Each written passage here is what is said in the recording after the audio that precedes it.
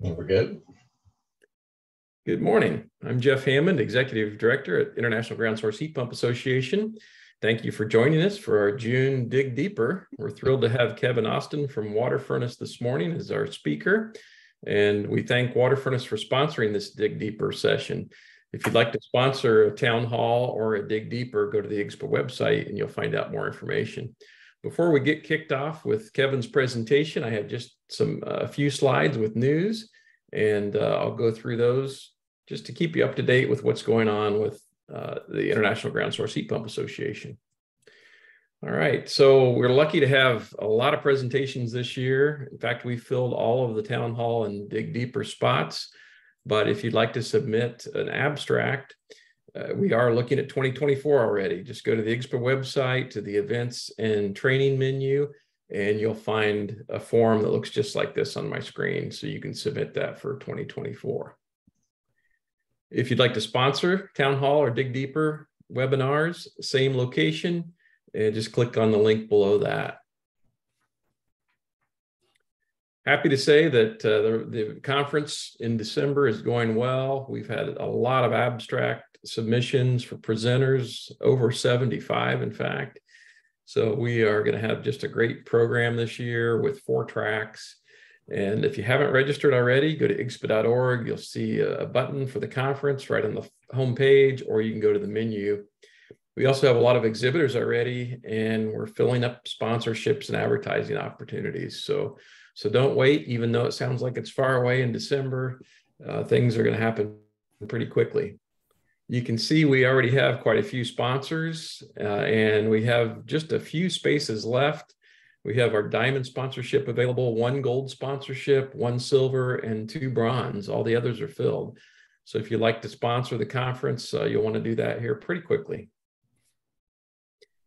These are the exhibitors we have so far. You can see a pretty good sized block uh, has already reserved, and these booths can be reconfigured. So if you'd like a 20 by 20 or a 10 by 20, uh, that that's certainly uh, possible, or a 10 by 10 with the way it's already set up.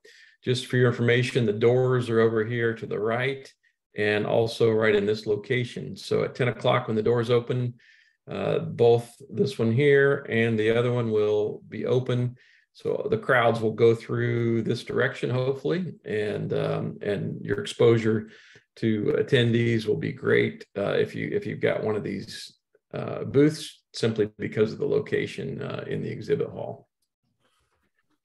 We still have program guide advertising opportunities, quarter, half, and full page. Plus, there's an inside front cover and a back cover still available. Same location, igshpa.org. Just check that out and you'll find all the details. Uh, the conference presenters abstract submissions was closed on May 31st. We're making decisions right now and we'll be notifying the speakers. So you should see an agenda coming up here in the next couple of weeks.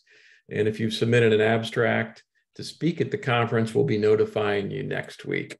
Thank you so much for submitting that abstract. We're pretty excited about the topics we're going to have. If you haven't heard, there's a research conference coming up in 2024. We're partnering with Polytechnique Montreal. It'll be May 28th through the 30th, uh, 2024, and it's on the campus of Polytechnique. So that will be um, the next research conference. Uh, we typically have those every couple of years. Uh, I do want to make a note uh, as far as the mailing list.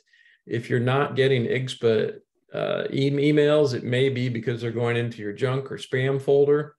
So just a, a note here, there's a couple of screenshots that show um, if you're on a Mac or Windows, you'll want to add the IGSHPA address. It's info at igshpa.org. If you add that to your contacts, then those emails should come through. We have heard that some people are not getting the emails. That may be the reason they're being filtered out through spam or through uh, through junk we're happy to help you. If you have any questions on that, just drop us a note at info at igshpa.org. For CEUs, uh, for your renewals, your certification renewals, uh, you do get uh, credit for this Dig Deeper webinar and also for town halls. If you don't mind, please put your name and your email both in the chat and we'll gather those at the end of this presentation and make sure you get credit for these uh, attendees uh, for the attendance at these town halls and dig deepers. Just a little bit of housekeeping. If you don't mind, please put your question in the chat. I will be reading those at the end of Kevin's presentation. And uh, if we don't get to all of the questions, we'll follow up later on. But uh, hopefully we'll, we'll get a chance to get to just as many as possible. And for the courtesy of other attendees, please mute your microphone unless you're speaking. We will be recording this session if you didn't see that note earlier. And this will be uploaded to the IGSHPA website. There's a YouTube icon at the very top. Usually takes a few days for it to get uploaded. Uh, so if you would check back maybe in middle of next week and you'll see this presentation, just click on the YouTube icon at the very top of the IGSHPA.org website and you'll find the Dig Deeper presentation for June. And one last item before I introduce our speaker. This is a disclaimer and potential conflict of interest that we read at every one of these webinars. The upcoming presentation represents the opinion of the presenter and does not represent any official position, opinion, or endorsement of any products or services by IGSHPA or its members. IGSHPA Town Halls and Dig Deeper webinars are for member updates and education on the latest information in the geothermal heat pump industry and are not meant to endorse one technology or brand over another. It is the presenter's responsibility to disclose any conflict of interest or position that may arise in the content of the webinar. And with that, I would love to introduce Kevin Austin of WaterFurnace, who will be uh, our presenter today. We thank WaterFurnace for sponsoring this Dig Deeper, and we look forward to an exciting presentation. Let me introduce Kevin uh, through this short bio, and then we'll move forward. Kevin Austin is a native of Chicago, Illinois, and currently lives in Kokomo, Indiana, with his wife Jenny and two sons. He has lived everywhere from Los Angeles to Boston, Houston to Chicago, and over a dozen places in between. Kevin spent eight years in the U.S. Navy, served aboard the USS Juneau and USS Ranger, and traveled to 22 countries around the world. He brings 35 years of construction, manufacturing, and industrial experience with the latest, with the last 15 years devoted exclusively to the geothermal industry. His drilling and loop installation experiences cover a wide range of projects and applications across the country. Kevin started his geothermal career as the first geothermal project manager of the nation's largest continuous geothermal project during the campus conversion of Ball State University in Muncie, Indiana, from 2009 to 2011, while working for Ortman Drilling and Water Services. Kevin was hired for an estimated six months of ma- to manage the first phase of Ball State and remained with Ort- Ortman Drilling for nearly 14 years until joining WaterFurnace International in 2022. Now, as a ground heat exchanger loop consultant for WaterFurnace, Kevin is focused on connecting all types of industry experts, including drillers, loop installers, contractors, architects, engineers, and various related industry partners across the US. Kevin is an IGSHPA member of the training committee, an NGWA member, and has published in the Waterwell Journal, including a new article that's going to be published this July.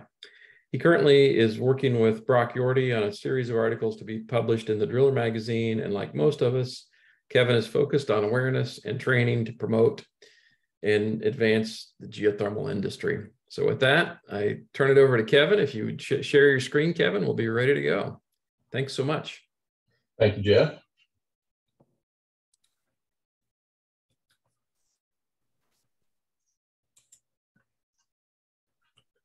How's that look, Jeff? Looks great. You just need to go into uh, presentation mode, Kevin.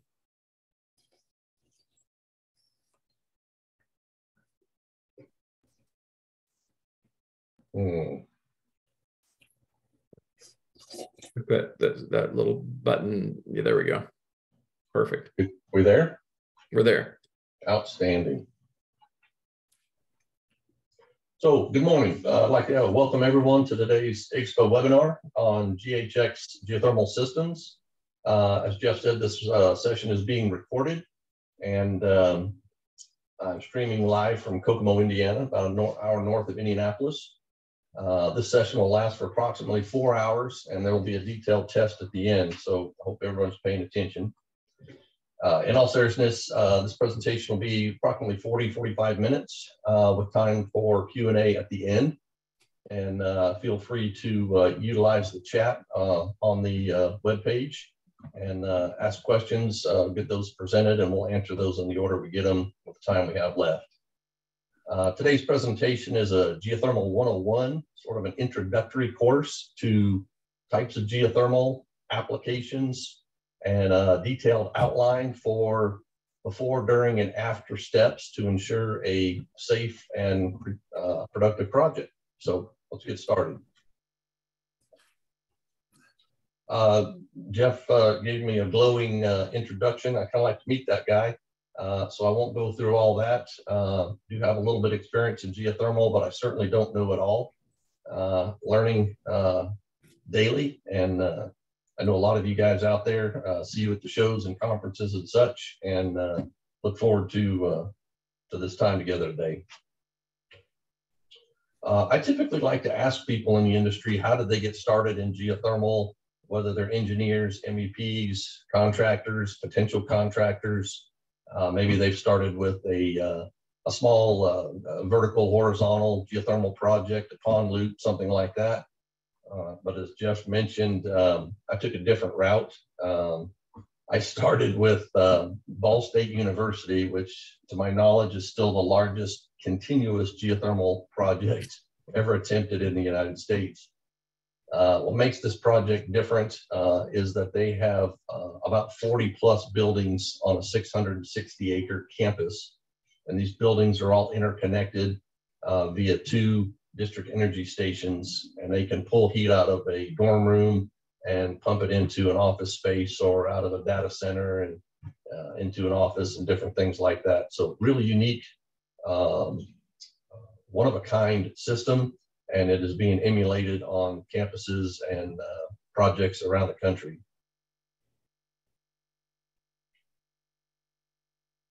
Just a little bit about that project, won't go real deep. It's a 660 acre campus. Uh, it's a 22 acre drill site. Uh, drilled 1,800 bores as the first phase. Each of those was 400 foot deep, had a pair of one inch loops. Um, had uh, roughly eight drilling companies on site at any given time.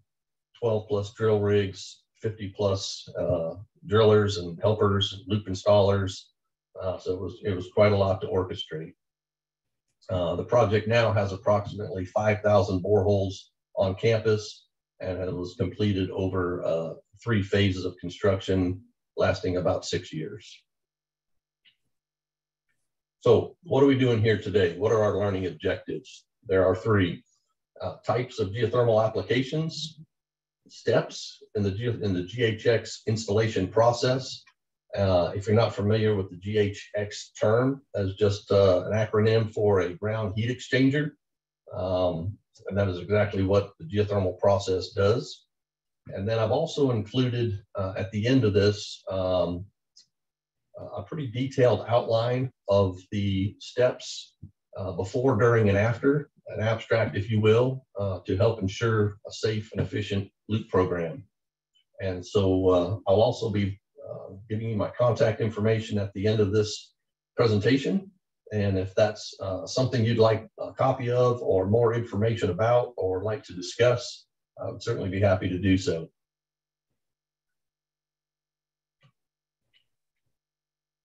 So we'll get right into it. Um, types of geothermal heat exchange applications. Uh, and there are four primary and I'll go through those just uh, here briefly and then uh, a little bit more in detail.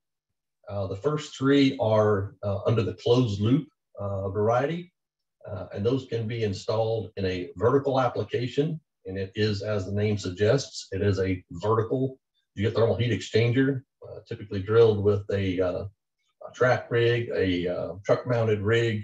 There are a variety of options. second, we have a horizontal application and there again, there's numerous means and methods by which those can be installed uh, with the horizontal directional drilling equipment. It can be open cut uh, trenches. It can be uh, mass excavation. Uh, there is quite a variety of, of applications under the horizontal header. And then thirdly, we have a pond or lake loop uh, application uh, that can incorporate coils, slinky loops, Um, it can also uh, incorporate uh, plate heat exchangers, which is becoming more popular. So there are many types and configurations for each of these types. Uh, beyond that, we have something called open loop systems, uh, and that is uh, a method by which water is extracted from the earth. It is run into a building or facility. Uh, that water is run through a piece of equipment in which the heat transfer takes place. And then that water is subsequently discharged either to a return well, uh, an open trench, pond, loop, lake, stream, something of that nature. Again, uh, a variety of options and means and methods for that as well. And then lastly would be a hybrid system. Uh, hybrid systems can be uh, really a, a, a, wide combination of things. A hybrid system that can be a combination of two of the aforementioned vertical and horizontal, horizontal and pond loop. Uh, and we've done a number of each of those. Uh, hybrid systems can also include conventional geothermal methods applications, such as vertical and horizontal, uh, with additional uh, equipment, uh, which can be cooling towers, it can be uh, boilers, other, other equipment to aid and facilitate uh, the life and the efficiency of those systems. So those are the basic applications, and uh, let's talk here a little bit about each of those. Uh, vertical loop is what I have most experience with. That's what the Ball State project was, and what I've primarily primarily done in my career in the Midwest. Uh, we have combined those with numerous other contractors, trades, and applications to to uh, install hybrid systems. But vertical is is typically the most common uh, has the, uh, the smallest area footprint required. Uh, the loops are installed vertically, thus utilizing less real estate. they can be installed in virtually any kind of subsurface strata formation, be it overburden, a variety of soils, bedrock, granite, limestone. Uh, there are means and methods to accomplish any of those. Uh, configurable to most any uh, project site. Uh, vertical drilling is, uh, I like to say, it, it, it's kind of the Cadillac of the geothermal system in that it has it has the same price tag, or excuse me, has a larger price tag. Uh, it'll, it'll net you the same results. You can you can get somewhere in a Ford or Chevy just fine. Uh, Cadillac just uh, does it with a with a, a, little more flair and a little more cost, I guess. But uh, any of these are cost dependent based on uh, the building needs, the site uh, survey, application, location, geology, all those things. One thing I do want to mention about a vertical system, the, the loops are drilled vertically and then they are tied in, they are interconnected horizontally back to the building and I don't know if you can see my cursor on this screen here, but in this scenario, we've got vertical loops in the ground and then we've got a horizontal tie-in running back to the building. That horizontal tie-in is not to be confused with a horizontal system, which we'll talk about in a moment, but uh, just like to make that distinction. So what do we mean by a vertical loop? Vertical loops are uh, really uh, evolved. Uh, they are quite an amazing piece of equipment uh, they are available in a variety of sizes, three quarter, one inch, inch and a quarter, inch and a half. Uh, industry has recently come out with two inch loops, which are being more, utility, more utilized in much deeper, larger diameter, higher capacity projects. Um, but uh, these are available for purchase from numerous manufacturers. You can buy them in any size. You can buy these legs in any length uh, as the project requires. Uh, moving on to, uh, this would be an architectural rendering of a, uh, a, geothermal borehole configuration. This is literally pulled off a set of plans and specs. Uh, what this will tell the contractors is exactly what the architect and engineer are looking for. You've got a supply pipe, you've got a U-bend, you've got a return pipe, uh, this application requires a one inch uh, polyethylene uh, loop. Uh, the red kind of depicts what the borehole looks like. Over here, you've got a minimum bury depth. Over here on the left, it talks about sand bedding the pipe, and this is done for uh, insulating purposes, but also uh, primarily for any jagged material for protection of the pipe. That sand bedding will, uh, as that pipe heat expands and contracts, as the thermal transfer occurs, we don't want rock or anything sharp uh, pressing up against that over time. It has the potential to, uh, to puncture a loop. Uh, I will add a note here that I've been doing this for a little over 15 years. And to my knowledge, we do not have a single loop that was properly tested, installed, tested again, uh, and, uh, and put into operation that has failed without intervention from some sort of outside source, someone digging into it or something of that nature. So kind of a nice uh, depiction here of, of what a loop looks like. Uh, another thing I want to add to in a vertical application, uh, typically you're drilling uh, into depths from 150, six, 800 feet deep in the earth. And almost invariably, you're going to run into a static table, water table uh, in this formation. So when you try to insert a plastic pipe into a body of water, being this borehole, um, there is a natural propensity for the pipe to want to float out of the hole. So oftentimes uh, a steel rod uh, will be affixed, uh, either hung below or affixed to the loop itself. Uh, can be 100 pounds, 200 pounds, depending on the size, weight, uh, the type of drilling that's occurred. But that weight will help uh, counteract the buoyancy of that plastic pipe, get it to the bottom of the borehole, and keep it there until it can be grouted. And the grout sets up, kind of sand locks the, the loop in place.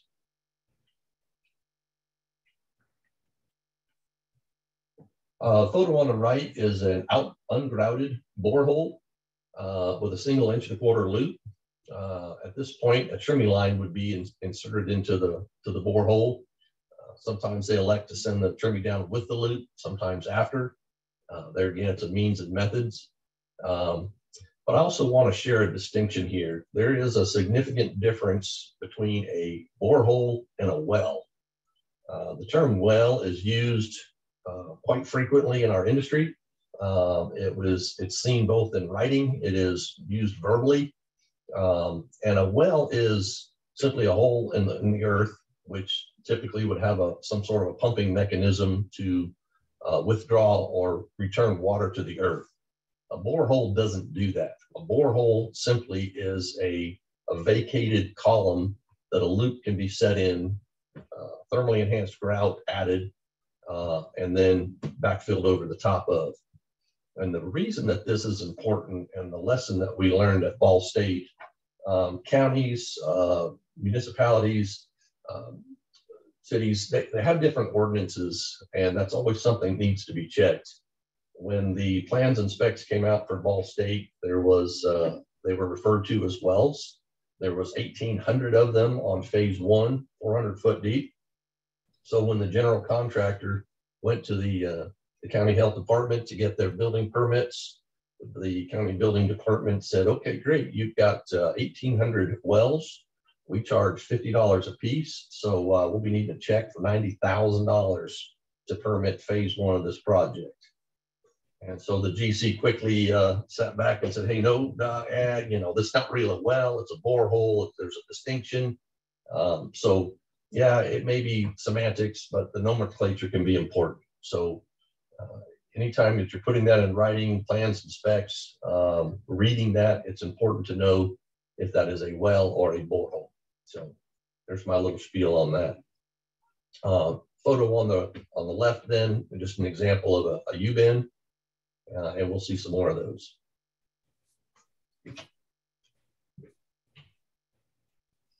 Uh, once the borehole is drilled and the loop has been set, then uh, the contractor would install a tremie pipe, which is typically uh, an inch and a half, two inch coil of pipe.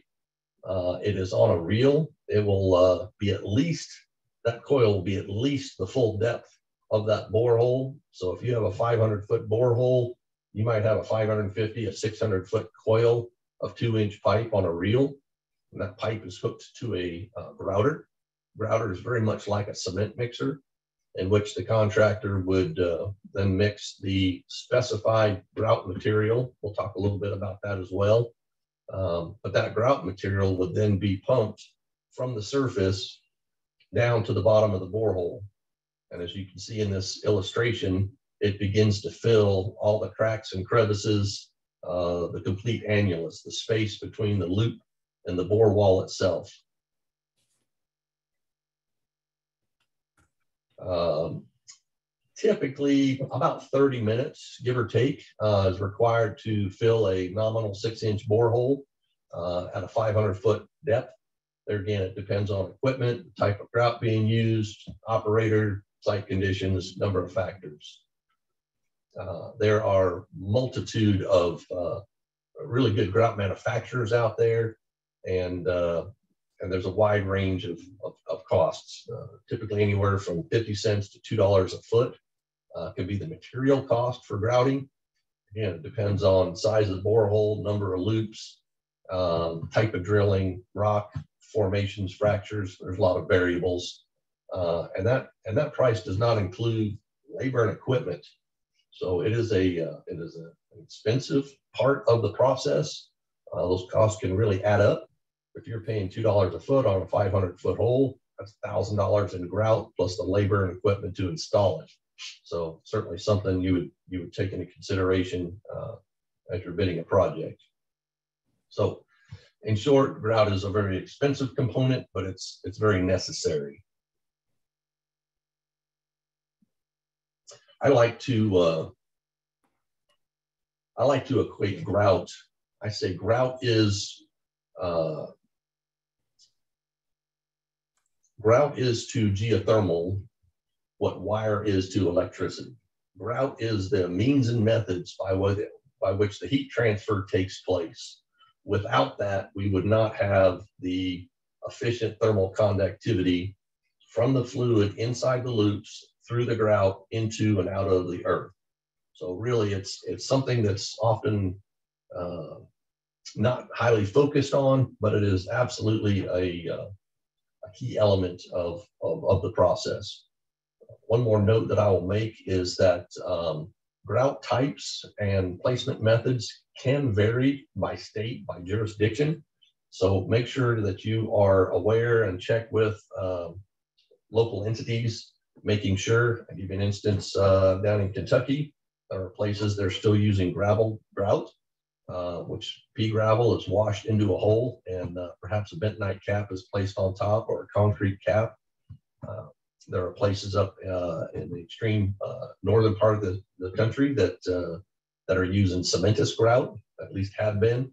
I'm not sure if that's still the case, but um, so important to know what grouts are and aren't allowed in any given area.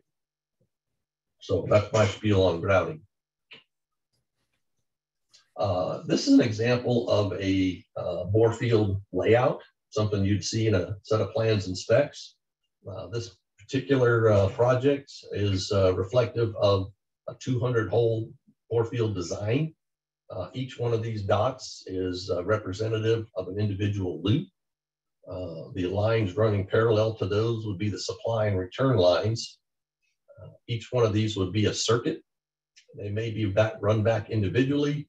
In this case, it appears that they are on central supply and return lines and run into a vault those lines are collective and then into larger supply and return lines to the building. So there are just a limitless uh, number of options, variations. We've done projects where we drilled one loop outside of every classroom on a school building. Uh, we've done these where we have peppered loops uh, all around, say in green spaces on uh, tree lawns and, and landscape islands and parking lots. So it does not have to look like this uh, nice, even rectangular presentation. Uh, there are a wide range of, of options and varieties for, for laying these out.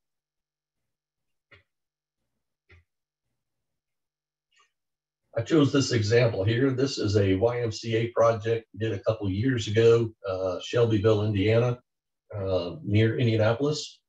I kind of like this photo uh, for the simple reason, if you look back at the bore field, everything is perfect and uniform and your spacing is 20 foot on center and it's nice and clean and looks good. Life is not, uh, doesn't always imitate art for sure, but so a bore field, uh, in, in theory, yes, your loops would be exactly 20 foot on center, uh, both east and west, north and south. But the reality is that is not how contracting works, unfortunately, um, due to maneuvering 50, 60,000 pound drill rigs in a muddy uh, bore field, um, due to deep earth uh, formations. Oftentimes we'll set up a rig and, and start drilling and may only get 10, 20, 30, 50 feet down, uh, encounter some kind of a fracture, a boulder, some sort of obstacle that uh, challenges the, the uh, production drilling. And so we'll have to move five feet and, uh, and start the hole over again. So this is a relatively good example. These loops here are somewhat in a, in a straight row, uh, but they're certainly not perfect. Uh, the people drilling them aren't perfect and the, the end result's not perfect um, but it does get the job done.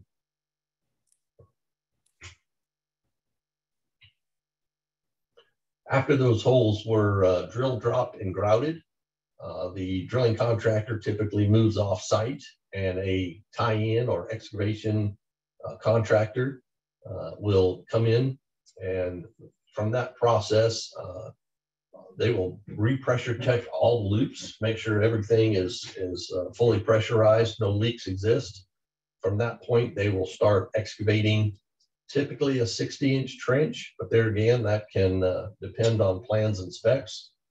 Uh, circuits can be fused either in the trench or at grade, as they're doing in this example here.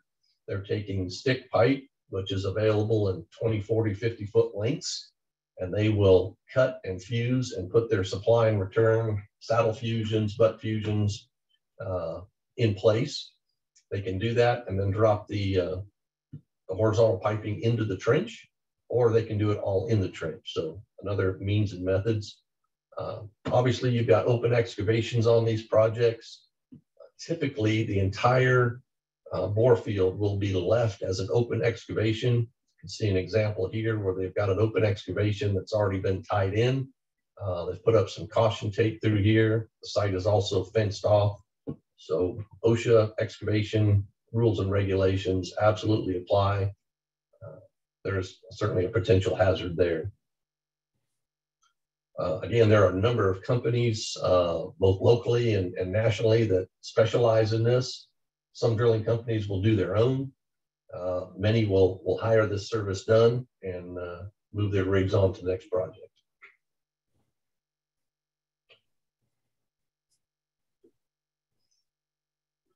So once the holes are, uh, the vertical holes are drilled and uh, our tie-in contractor has come in, uh, they, this is an example of a uh, an excavated trench. you can see here that each of these loop tails, as we call them, there's a pair here, a pair here, a pair here. Each of these are run to a supply and or return line. Uh, and it really doesn't matter because you go down one side and back up the other. Um, so as long as you have one each per circuit, per loop, you're in good shape. Uh, the third pipe here is an example of a reverse return. And this is a method by which uh, we keep uh, loop temperatures and loop pressures the same, flow rates. Um, it is pretty common in the industry and, uh, and frequently spec'd. Once these uh, individual loops are tied into circuit piping, that circuit piping then would be run uh, either to a building or to a vault. We'll talk a little bit about vaults here in a minute. Um, next slide, if I can get the right button. Next slide shows this particular application did not utilize an exterior vault. Uh, this is not part of the geothermal system. Uh, in, in this case, we had 140 loops. There were 14 circuits of 10 loops apiece. And so the contractor was hired and uh, the design was to run each of these circuits into the building and have an interior header manifold. on this particular project, I actually made a two layer raft of six inch PVC pipe, about six foot long. And each of these three inch lines that you see here, in this case, these are the supply lines, uh, buried about uh, a foot or so below this are the return lines and it mirrors exactly what this looks like. So from each of the 14 circuits of 10 loops, each of those are run in a graduating larger size pipe from inch and a quarter, inch and a half, two inch, three inch, and they're run into the building. Uh, in this application, we had the advantage of putting this raft in. We drilled the entire bore field uh, and started a uh, horizontal tie-in before the structure was even started. So we put those PVC conduits in uh, in order to uh, get our work done so we could demobilize and uh, get out of the way of other construction activities. And they literally built the building right over the top of it.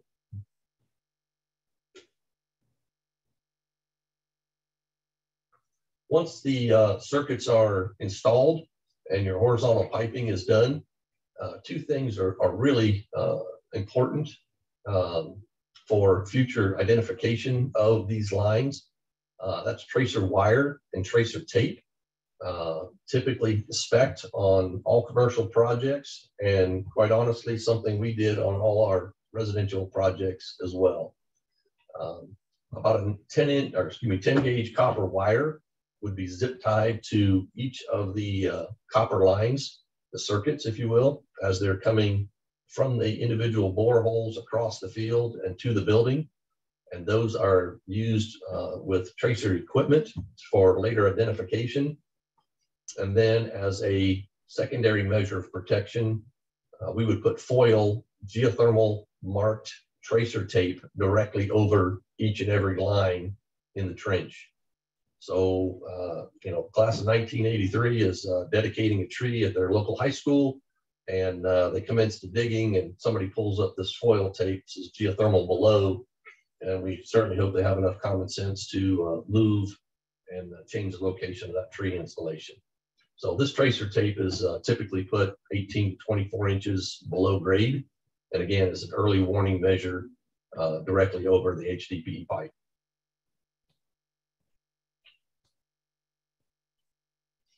So we talked uh, quite a bit about vertical loops and the tie-in.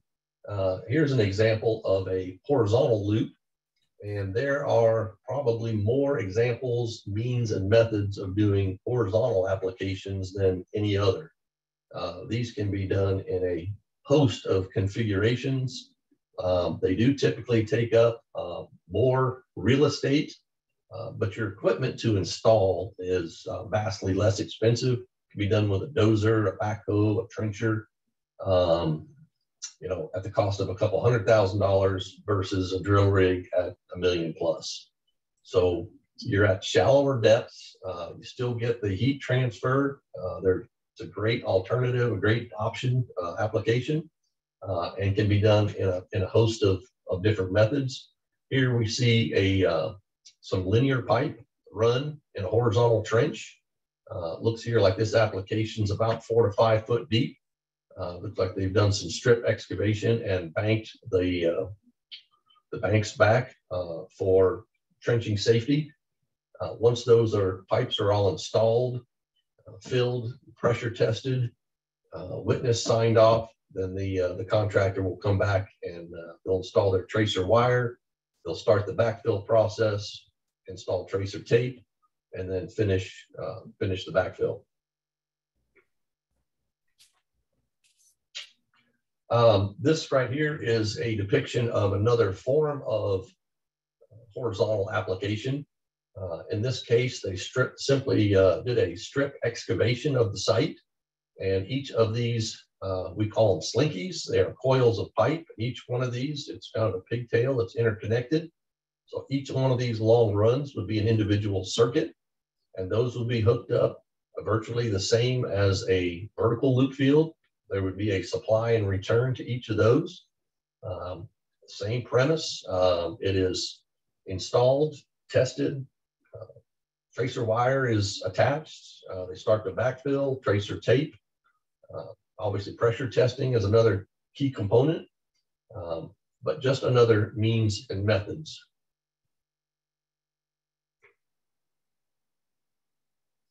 Uh, the last of the closed loop methods I'm going to talk about are the pond or lake loops. And uh, these have been around for millennia, I believe. Uh, averages about three to 400 foot of polyethylene pipe per ton.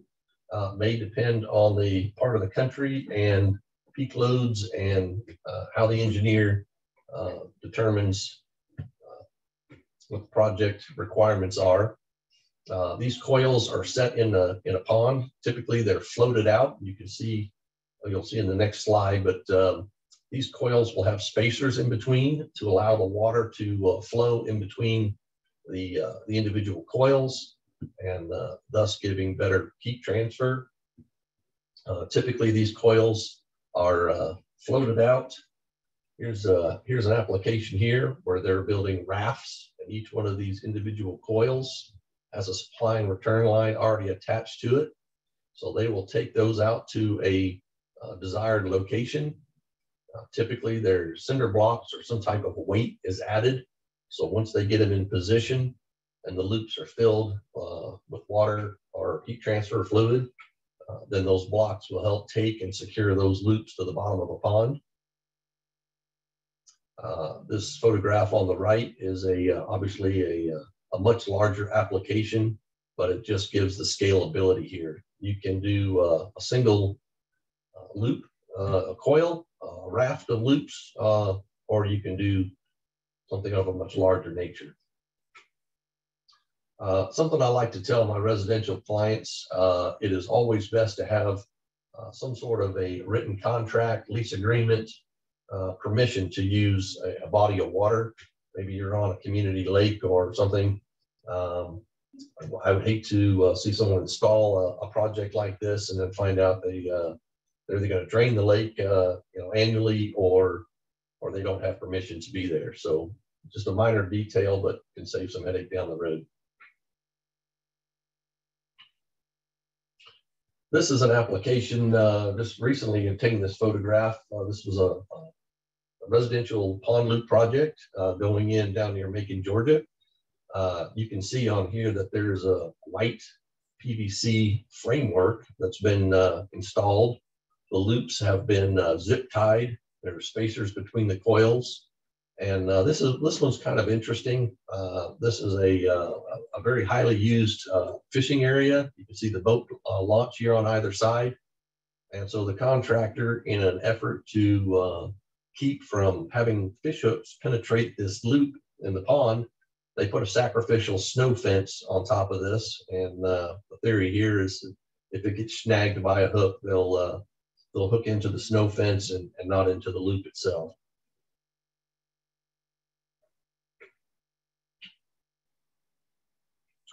Uh, here's an example of a, uh, a, pond loop that I'm familiar with. Uh, this is WaterFurnace's uh, office and manufacturing facility in Fort Wayne, Indiana. Uh, Mr. McGowan, who I believe is on the call, installed this uh, a few years ago, um, 2016, I believe. Uh, initial layout for this was about 400 tons. Uh, idea here on a three and a half acre pond that's roughly seven to eight feet deep uh, that is going to heat and cool our entire office facility and our manufacturing facility. And it has done so for nearly a decade uh, just recently, we have added to that system. This is a couple of photographs, some sonar imagery. Uh, what you're looking is a top-down view. This is our office space here. This is our uh, manufacturing facility for the uh, commercial residential WaterFurnace equipment. Um, our initial pond uh, had 400 tons of heating cooling capacity which uh, took care of the office and manufacturing and labs that we had at the time. We have uh, the demand in the industry. We have opted to expand our facility. Uh, we're going from roughly 130,000 square feet, and we're adding another 140,000 square feet of additional manufacturing capacity. Uh, we've also added a number of uh, test labs, and we are able to uh, heat and cool seven labs to max capacity uh, at any time of year. So we went ahead and doubled the, uh, the capacity of that pond, still using that same three and a half acre, seven foot deep pond. And you can sort of see the, uh, the addition of some of these uh, new loops that were added uh, here a couple years ago. And uh, so great, efficient, cost-effective way to put a closed loop deep geothermal in. Lastly, I'll just mention plate heat exchangers, uh, very much like uh, a pond loop. It is a pond loop, very much like a, a coil loop.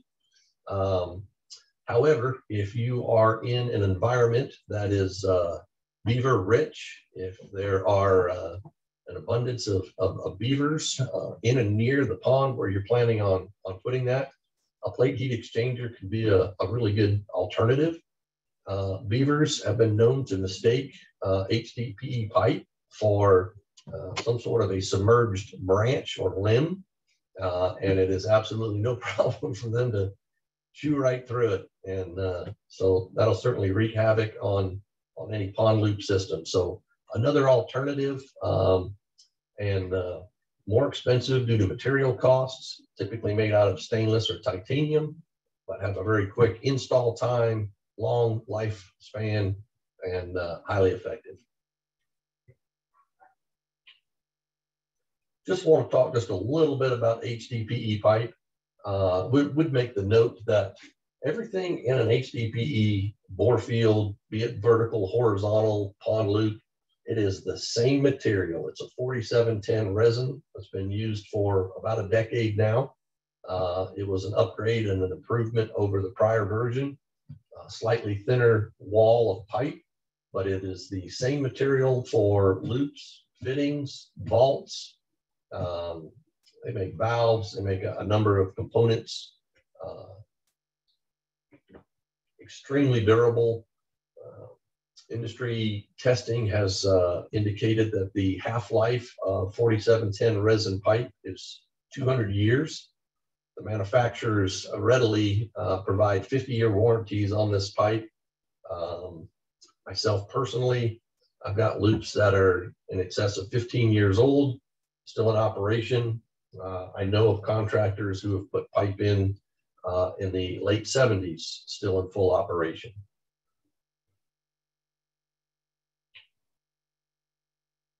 I just want to talk briefly about uh, a couple of the uh, the fusion, the process itself, and the and the fittings that are available. And again, there's a wide range of those. Uh, I like to say that there are four types of fusion. Uh, there are butt fusion, which literally is uh, two pieces of pipe that are sheared and melted together. Uh, up here, you can see there is a something called a bulldog. this is a piece of equipment that would be used to insert uh, stick pipe from both sides. Can be anywhere from three quarter inch all the way up to 72 inch. Uh, the uh, smaller smaller pieces, two inches under, can be done on a handheld machine. Uh, anything over two inches is typically done on a McElroy or other type of specific equipment designed for that. You may have seen these in the, in the gas, water well, a variety of industries use these. So butt fusion is, is two pieces of pipe literally butted together end to end. Uh, socket fusion is, as the name suggests, it is a socket that uh, can either be uh, connect two pieces of HDPE pipe in a variety of sizes. They come in 90s and T's, U bends, and Y's. Uh, there's a host of, uh, of, fittings available in various sizes and, and uh, pipe size ratings. Uh, a lot of these smaller ones are just done with handheld tools. Uh, this is an example of a fusion paddle. A paddle would heat up to anywhere from 475 to over 500 degrees. There is a certain uh, hold time when you're melting or fusing the pipe together. There's a certain hold time once the fusion is done. There's a certain setup time, but charts and, and uh, are available for all those. Uh, very simple to do uh, but also critical that it's done properly, that the pipe is kept clean at all times. Another option would be electrofusion. Uh, these are a little more expensive fittings. Uh, they are run by a, uh, a fusion uh, machine. These are great for overhead applications, uh, repair applications, perhaps somewhere you don't have the room to get a, a bulldog or a fusion paddle, uh, say into an overhead, whereas the, uh, the pipe can be cut, an electrofusion uh, fitting can be inserted, uh, leads are attached to the sides of these electrofusions, the parameters are entered into the machine, and uh, it will actually fuse that pipe together, disconnect the leads, allow it to cure, then you move on. So those are butt fusion, socket fusion, and electrofusion. And uh, if you don't plan and execute your projects correctly, you are liable to have confusion. So not my joke, but I uh, but I stole it uh, from a, a, friend of mine down in Oklahoma, and uh, just thought I'd share that with you. So anyway, a little bit about the fusion process and available fittings. Uh, here we have vaults. We are we have a variety of vaults available uh, from HDPE vaults, concrete, and they come in a variety of sizes, can be custom ordered depending on the needs of the project. I'm just looking at my clock here and realizing we're uh, we're burning through time here pretty quick, so I'm going to speed this up just a little bit. My apologies. Um, another example, there's an HDPE vault just shipped in, ready to be placed. There are also uh, concrete vaults uh, that have been used for years. I think they're being replaced uh, pretty extensively with HDPE, but uh, there's certainly an option and there are applications. A vault really is nothing more than an exterior mechanical room. Um, supplying return lines, uh, be it from a vault or from a uh, an exterior header system, supply and return lines are, are, simply the largest lines in the system, and they do just that. They supply uh, fluid to the bore field and return it once the heat transfer has been done. Uh, last thing I want to talk about here real quick is flushing and purging on any type of system, uh, any type of closed loop system. Uh, filling, flushing, and purging the system is critical. And uh, there is a, host of information and contractors available to do that. And uh, it is just a critical step in ensuring that the system is clean, pressurized, and purged of any air. Uh, you got a little bit of sand in your system, and that continues to cycle through there. Sand is very abrasive uh, and uh, certainly can wreak havoc on your on your system. Hybrid systems we talked about earlier, they're a combination of a variety of, of uh, closed loop, open loop. Here we have a campus, community, or district system and uh, thermal energy network. And I just show this to say that most anything is possible. You can loop, utilize pond loops, vertical loops, single pipe, um, solar equipment, wind. These, these district energy systems are certainly becoming more and more popular and have uh, more and more momentum behind them. Uh, just mentioned thermal conductivity testing. If you're on the design phase of a project, uh, that is really critical to uh, to be able to know what the formation is in the given area and uh, the thermal conductivity of the ground, deep earth temperature, all those things. Another aspect of that is having a, uh, a driller's well log and uh, that is critical to know what the formation is and will ultimately help you reduce the price of the project by allowing the contractors to know what the conditions are on a given site. A little bit about the uh, installation process. Uh, there again, this is a lot to go through, um, but uh, do want to be able to uh, share this information. So afraid I'm running out of time here a little bit, Jeff, but um, I'm going to just jump ahead just real quick. I just want to uh, let you guys know that there is a before, during, and after uh, job site assessment, um, all the steps that are necessary uh, for the pre-planning, the execution, and the wrap up of uh, any given geothermal project. Uh, on a commercial project, a site-specific safety plan is is really uh, critical uh, tool. Uh, it can save lives, money, and time. and something I can share with you if uh, you'd like to reach out. Uh, I also can't stress enough taking site photos before, during, and after every single project that you do. Um, people's memories fade. Uh, pictures typically do not. So with a time stamp, they stamp they can uh, they hold up well in court if you have to. Um, schedules, uh, site conditions, plans and specs. There's just a lot of considerations on the uh, on the forefront of any of these projects. Uh, run through there just a little bit. Here again, a list of uh, several things. And a lot of these steps are done before, during, and after. So a site-specific safety plan is not a one-time thing. It's, it's a living document that you use during the course of the project. Toolbox talks, again, site photos, mobilization plans, quality inspections, best practices, uh, always uh, recommended.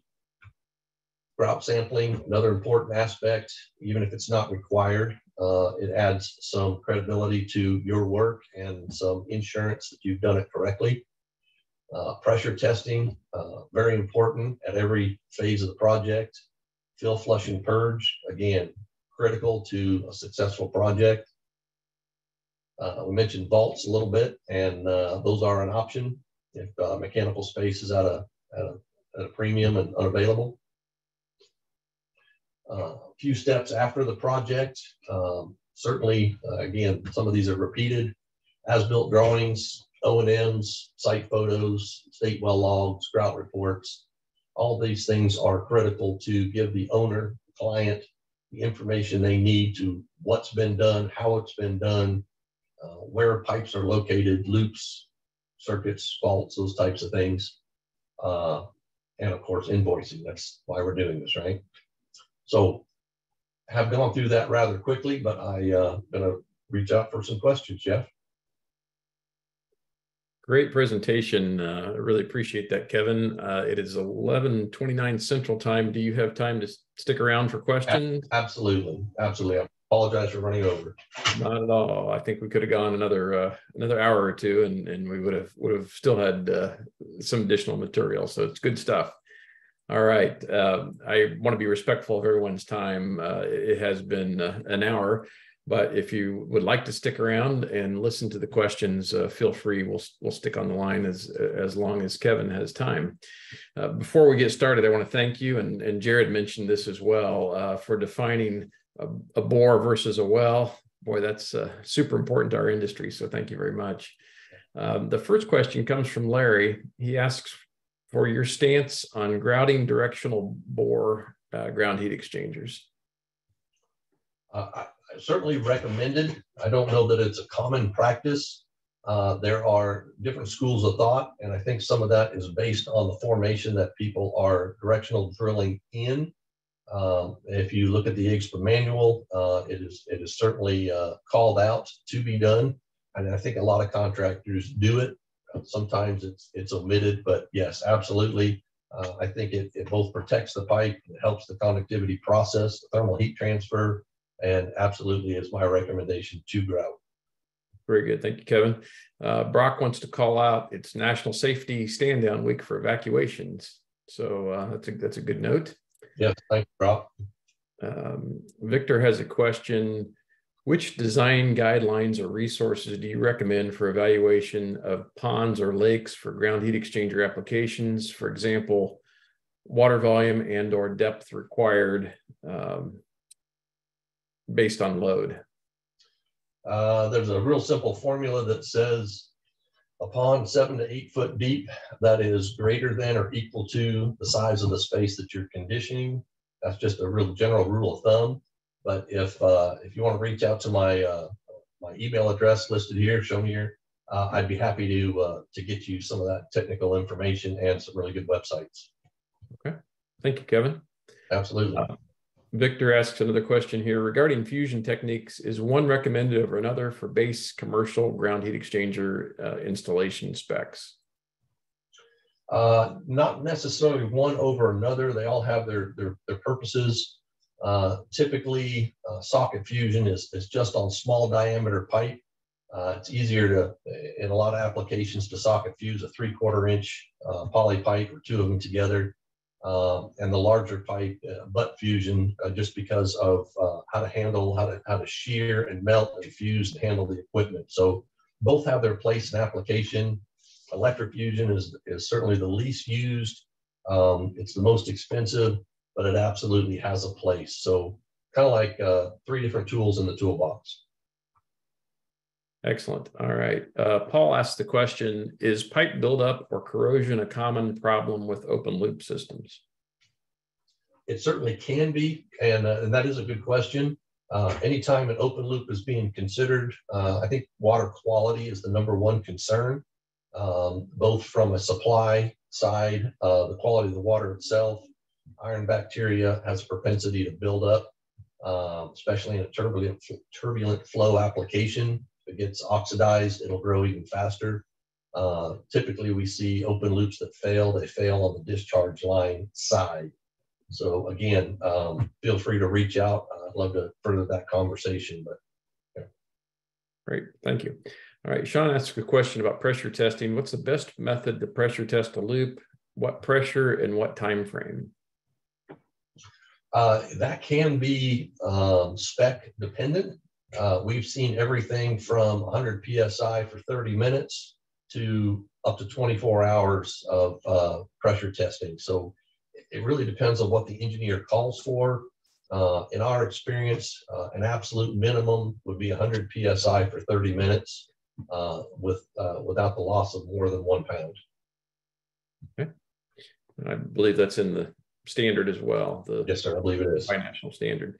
Uh, there are a couple comments here on pond loops. Uh, Steve and Tom uh, have some comments here. Steve mentions pond loops typically require a depth of 10 to 12 feet. Uh, typical pond design is 300 foot of pipe per ton.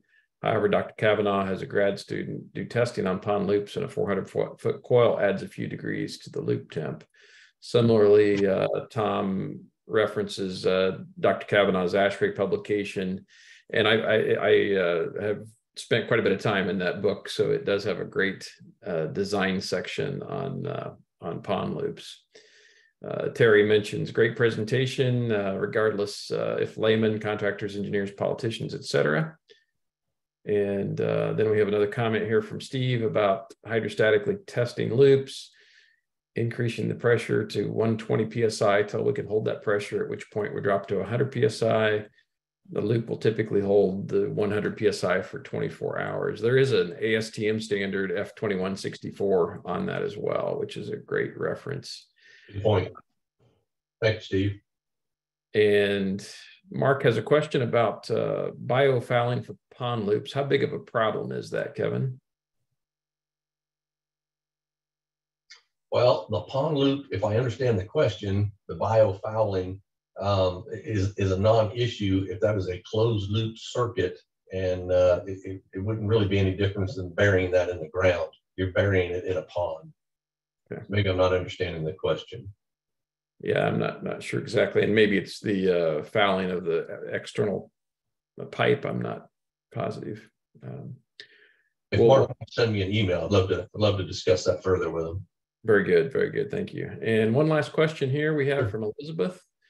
Do you have any recommended grouters and tremie pipes? I want to rent one and our rental supply house did not know what I was talking about uh, with the supply return HDPE, HDPE pipe. How long do you have to dig on the trencher to get the building or house before you cover the pipes with dirt plus the distance from the building, please? So we have several questions here. I guess the first one is uh, grouters and tremie pipes. Um, if you have any recommendations there you know, I, would like to talk to her more about the specific project. Uh, and, and if it's not something they've done in the in the past, maybe it's a good idea to hire a contractor and then observe. Uh, but but the, the specifics of an individual project may dictate what type of grouter, what type of grout. Um, and uh, but yeah, there again, love to love to have that one-on-one conversation and, and reach out. Uh, Geoloop makes a grouter. There's a there's a host of different uh, grout manufacturers. Grout lines are typically the same 4710 resin uh, that are the loops and the uh, and the, and the uh, circuit piping and so forth.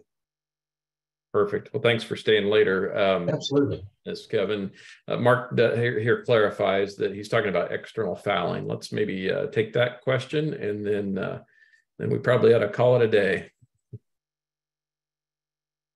Um, there again, I'm not entirely sure uh, where he's going with that. I don't know if he's talking about just build up on top of the loop uh, in the bottom of a pond, silt, and those types of things.